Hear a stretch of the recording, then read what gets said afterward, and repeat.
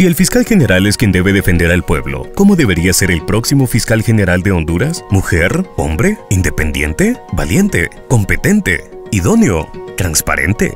que no trabaje para narcos y políticos corruptos, pero para eso es necesario que sea valiente e independiente, que haga bien su trabajo, pero para eso es necesario que sea competente e idóneo. No más sombras en la justicia, un fiscal general transparente para todas y todos. Más información en rddhn.org.